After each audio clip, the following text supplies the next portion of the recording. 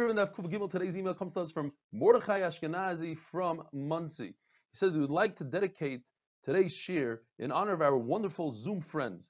These are the children that watch the Zoom shiur live every single day. Akiva Solway from Ramat Bet Shemesh, Gedali Saznik from San Francisco, Moshe Apter from Toronto, Shmuley Lemmer from Kensington, New York, and Yoel Bergman. Says Mordechai Ashkenazi, we're impressed by their maturity and commitment to learning the daf. When I was their age, I kept busy by listening to music on a 90 minute Memorex cassette tape playing in my fancy Sony Walkman that even had auto reverse. Mazel tov, I'm being mesayem Eruvin, and we should be zoichet to continue to share many more yoimis and learn many davim together. Amen. Thank you, Mordechai Ashkenazi. Says the Mishnah Daf Kuf Gimel, if you have a violin on one of the chord snaps and it happens to be you're in the Beis Hamikdash, you're a Levi, you're permitted to repair it. You can make a knot, but you cannot start out, take a violin out of the box and set the chords on Shabbos. It's only if it broke on Shabbos. According to Chachamim, it's also to make a knot on Shabbos because this consists of machshiri mitzvah. It's preparation for a mitzvah. It's not the actual mitzvah, and therefore it's they hold it's also to do machshiri mitzvah on Shabbos with a, deraisa, which making a knot is deraisa. The eitzah is you make an aniva, you make a bow. According to Rabbi Yehuda, there's no difference between a bow and a regular knot. A bow is also is deraisa. Rabbi Lezer says machshiri mitzvah, preparation for mitzvah, is mutter even to start out from scratch, but there are certain conditions that make it usher. Machlokes, what exactly is mutter? According to Rabbi Shimon Lazar, you're allowed to take the cord and wrap it around the the top and the bottom because like this you have the best sound that the violin is able to produce. According to Chachamim, they said that's usher, it's xera, you might come to start a new violin and therefore just make a knot. If the cord rips all the way at the end, over there, you could get away with making a bow; it would sound fine. Reb Shimon says we have to be geyser to make uh, a knot also. Says the Mishnah. If a kain has a wart, he, it's a mum, he's puzzle for the avodah. So if a kain has a wart, you're allowed to cut it off in the Beis Hamikdash with your hand, but not with a clean, not with a vessel. The problem is, and the Gemara is going to discuss this at length. There's a Mishnah in Pesachim that tells us that it's usr to get rid of a wart. So what do we do? We have four pirushim according to Rebbe. It's mutter, but how do we explain the chachamim? The Gemara tells us one shot is that we're de- dealing with a wart that's moist and alive, and our Mishnah says you could remove it with your hand. The Mishnah Pesachim is talking about removing it with a kli. The Gemara is doichet because Rebbe Lezer says that over there we're talking about shvus, isur derabanan, and therefore it can't be moist and it can't be with a kli. That would be isur deraisa. Or the second pshat is both the Mishnah over here and in Pesachim are talking about that remove it with your hand, and our Mishnah is talking about where it's dried up already. It's not alive, and therefore you can remove it. The one that argues says that if it's dry, you can remove it with a kli. Why does our Mishnah say you can, you can only remove it by hand? Third pshat is both of the Mishnahs are talking about a moist wart, and you remove it with your hand. They were only matter a shvus, of the rabbanon, for the Beis Hamikdash in the Beis Hamikdash. So the Gemara asks a question from the case that we had earlier in the Masechta a number of times.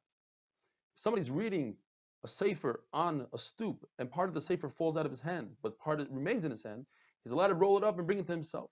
The Gemara understands that that's like something for the Beis Hamikdash since he's reading from a sefer kodesh. And the Gemara says that's not a good kasha because the stoop that we're discussing is a carmelis. So worse comes to worse, he might come if the entire thing falls out of his hand, he might come to carry it. He's only carrying it to a carmelis that's only a Rabban. But what's the problem here is that you're permitted to take the korban Pesach and roast it right before Shabbos. Typically, you're not allowed to put something into the oven right before Shabbos. you might stoke the coals. Over here, you're allowed to. Why? Even though it's outside of Beis Hamikdash, it's for the Beis Hamikdash, outside the Beis and you're allowed to. So if Yosef holds that that's not a big deal, because since we're dealing with groups of people, groups of people are reason they're going to remind each other, they know what they're doing, they're not going to make mistakes. Abaye, on the other hand, holds we only see the concept of reason when it comes to Kohanim. Kohanim is reason. But since all of Klal Yisrael are bringing korban Pesach, there is going to be a mistake somewhere.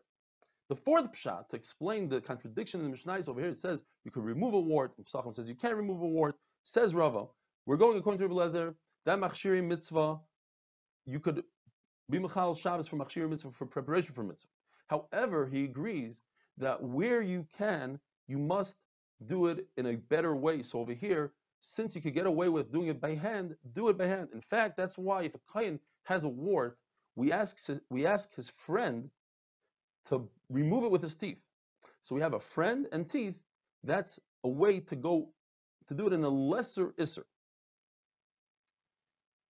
Even though it's uh, a derabanan, because the way to remove it is by hand, but since you might come to do it with a kli, which is the reason we ask you to do it through a friend with his teeth. Now, if he, if a person were to remove the wart by himself, according to Rebbe it's always a deraisa, even by hand. According to Chacham, only with a kli is deraisa, even if his friend does it. Says the Mishnah, if there's a kayan in the Beis Hamikdash, and he has a wound, he could wrap a bandage around his wound because it's not their eris to perform the avodah with blood dripping out of his finger. And the Mishnah uses an example of using a gemi. And a gemi is something that has healing powers to it. As long as he's careful that by wrapping the reed around his finger, he doesn't cause himself to bleed.